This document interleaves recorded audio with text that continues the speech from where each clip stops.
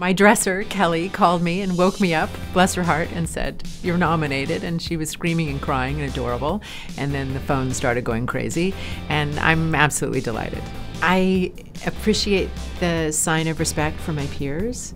Um, I appreciate being uh, noted for work that obviously I've invested a lot of heart and soul in.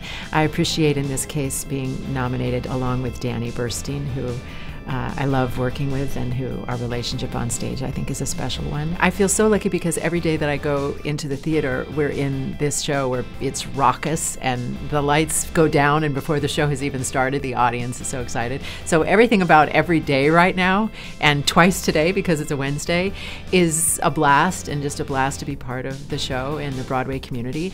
And then the extension of that is that as you go into the Tony season, you get to go to different events and you run into all these people that, in fact, many times we can't even see each other's shows. So, because we're on the same schedules. So, it's this whole thing is great fun just to be a part of it and see everybody and see people that you don't get to see and celebrate the great work that's being done all over town.